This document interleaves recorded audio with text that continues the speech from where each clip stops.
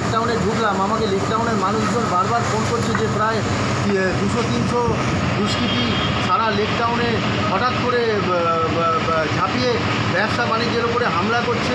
Lake town Barat অঞ্চলে সারা বরাট অঞ্চলে bike নিয়ে কি খুঁজতে আসছে হ্যাঁ আমাকে তখন আমার পার্টি অফিসে এসে আমাকে খুঁজতে গেছিল। আমি পার্টি অফিসের মধ্যে ঢুকে গেলাম যখন তখন ইট মেরে পার্টি অফিসের কাঁচটা ভেঙে দিল এবং অকথ্য কথায় গালাগালি ছিল আমি তিনজনকে এদের মধ্যে চিনতে পেরেছি এদের মধ্যে এক- একজন ছিল কুখ্যাত বিশ্বজিৎ প্রিয়ঙ্কর মোদক তার সঙ্গে ছিল বিশ্বজিৎ দাস এবং ছিল ওই আহ, যশোর রোডের আরেক কুখ্যাত দুষ্কৃতী রাজু ঘোষ। এদের নেতৃত্বে দু চারশো বাইক সারা লেক টাউনে আপনারা দেখুন না সারা লেক টাউনের মানুষ শান্তিপ্রিয় জায়গা।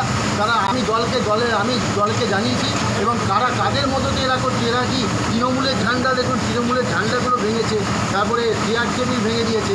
এরা কোন পার্টির পার্টির লোক? আমি সেটাই বুঝতে পারছি না। আমি দলকে জানিয়েছি যা বলার আমি দলকেই বলব। দলের কাছে আমি বলব।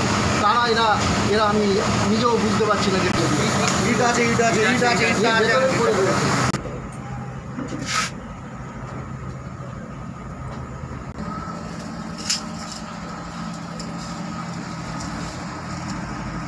পুলিশকে জানিয়েছি থানার ভারপ্রাপ্ত আইসি নন্দদুলাল ঘোষকে আমি জানিয়েছি। উনি কি আসছেন? হ্যাঁ উনি বলল যে আমি দেখছি। সারা লেকটাউন অঞ্চলেই তো উনি দেখার কে ব্যবসায়ী যাকে সামনে পাচ্ছে, মারছে, ধরছে, এবারে সারা এলাকায় একটা আতঙ্কগ্রস্ত করে দিয়েছে। দেখুন না, সাধারণ মানুষরা সব যে যার ঘরে ঢুকে গিয়ে দরজা বন্ধ কেন? আমার এই লেকটাউন অঞ্চল খুব শান্তিপ্রিয় জায়গা, এখানে সব শিক্ষিত মানুষের বাস। তারা ভয়ে তটস্থ হয়ে ঘরের মধ্যে ঢুকে গিয়ে আমাকে খালি ফোন করছে যে আপনি কাউন্সিলর কিছু করুন কিছু করুন। গালি করে খুঁজছে আমি অত ছেলে দেখে আমি তখন অফিসের মধ্যে ঢুকে পড়লাম তখন অফিসের এই ইট পাটকেল মেরে অফিসের এটা ভেঙে দিল। আমি এই তালা লকে তালা লাগিয়ে দিয়েছিলাম নাহলে ভেতরে এসে ঢুকতো তারপরে ওই কাঁচটা ভেঙে দিল ইট আপনার নাম? আমার নাম মানস রঞ্জন রায় আমি লেকটাউন তিরিশ নম্বর ওয়ার্ডের পৌরপিতা। নিজের চোখেই আমি দেখলাম। আপনি বলুন না যে যেভাবে দুষ্কৃতীরা তাণ্ডব চালালো এ কি কোনো তৃণমূলের লোক তৃণমূলের ফ্ল্যাগ ছিঁড়তে পারে? তৃণমূলের অফিস ভাঙচুর করতে পারে? কিছু না হলেও দু তিনশো সশস্ত্র বাহিনী যাদের আর্মস রয়েছে, আমি এখানে এসে বসলাম যখন তার আগেই সকাল থেকেই আমাকে আমি একটুখানি আমার নিজের পার্সোনাল কাজে কলকাতার দিকে গেছিলাম। মোটামুটি যেই বারোটার পর থেকেই আমার কাছে ফোন আসে, সারা লেকটাউন থেকে আতঙ্কিত হয়ে মানুষজন যে আপনি কোথায় আছেন? আমি আমি তো একটুখানি কলকাতার দিকে এসেছি। বলছে যে আপনি শিগগিরই আসুন, সারা লেক টাউনে তাণ্ডব চালাচ্ছে, এরা ব্যবসায়ীদের দোকানপাট ভাঙচুর করছে, যারা বাড়ি বানাচ্ছে তাদের বাড়ি টাড়ি মেশিনপত্র ভেঙে দিচ্ছে। আমি তারপরে যখন যত শীঘ্র সম্ভব এসে যখন আমার পার্টি অফিসের সামনে এসে বসলাম, আমি দেখলাম যে অলরেডি তখন দু তিনশো বাইক আমার এখানে সামনে এসে হাজির হয়ে গেছে। আমি ইতস্তত বোধ করেও এখানে এসে বসলাম। এসে প্রথমেই গালি গালাজ অকথ্য ভাষায় গালি গালাজ এসে তৃণমূলের ঝান্ডাটাকে ধরে টান মেলে বলে এই ঝান্ডাগুলো খোল। বলে টান মেরে ঝান্ডাগুলো খুলে ভেঙে এই দেখুন না সব ভেঙে ফেলে এরা দিয়েছে। কারা? এরা কারা? আহ, আমি তো তিনজনকে মোটামুটি দেখতে পেয়েছি। একজন হচ্ছে কুখ্যাত দুষ্কৃতী প্রিয়ঙ্কর মোদকের নিশ্চয় নাম শুনেছেন আপনার ওরফে বাপ্পা যার নামে এখনও অনেক খুনের এ রয়েছে। সে রয়েছে তার সঙ্গে বিশ্বজিৎ দাস বসাক বাগানে থাকে। বিশ্বজিৎ দাস রয়েছে তারপরে সঙ্গে রয়েছে রাজু ঘোষ আমাদের এই যশোর রোডের এই শিবালয়ে থাকে। তাকেও দেখছি তাদের মধ্যে রেখে আর বাদ বাকি আমি চিনলাম না। তারপরে তারা এসে গালাগালি করছে যখন আমি আস্তে আস্তে আমার এই অফিসে ঢুকে গেলাম। এবং অফিসে যখন ঢুকছি আপনারা এসে অফিসে যখন ঢুকছি আপনারা এসে দেখুন অফিসের কীভাবে ইট মেরে অফিসের কাঁচটা ভেঙে দিল ভেতরে ইটগুলো পড়ে রয়েছে। আমি ভেতরে ঢুকে গেলাম নইলে হয়তো ওই ওই ইট যদি আমার মাথায় লাগতো আমারও একটা অঘটন ঘটে যেত। তৃণমূলের জেলার সাংগঠনিক সম্পাদক হ্যাঁ। এবং এলাকার কাউন্সিলর। এত বড় স্পর্ধা এরা পাচ্ছে কি করে? সেটা রয়েছে? দেখুন সেটা আমি আমার দলকে জানিয়েছি। যা বলবে দলকে আমি বলব। এবং আমার এটুকু দৃঢ় বিশ্বাস আছে, কারণ আমি মুখ্যমন্ত্রী মমতা ব্যানার্জির আদর্শকে অবলম্বন করে এই দলটা, তৃণমূল দলটা করি।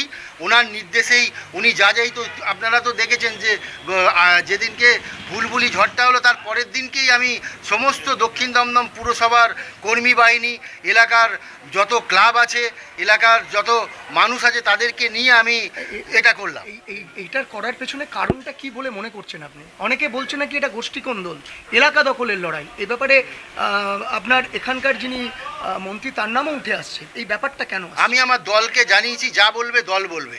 দলের বাইরে আমি কিছু বলব না। আমার এটুকু বিশ্বাস আছে যে দল নিশ্চয় যথাযথ ব্যবস্থা করবে। পুলিশ প্রশাসনকেও জানিয়েছি পুলিশ প্রশাসনের ওপরেও আমার আস্থা আছে। আমার মনে হয় নিশ্চয় এটার একটা বিহিত কিছু হবে নাহলে এরকম করেছেন হ্যাঁ আমি থানায় অভিযোগ করেছি আমি খালি না আমার এলাকার মানুষজনও থানায় ফোন করেছে। কারও ইন্ধন ছাড়া এমন ঘটনা হতে পারে না। কি মনে করছে কার ইন্ধন? সেটা আমি কিছু বলব না। আপনারাই দেখুন নইলে একটা আছে কিনা?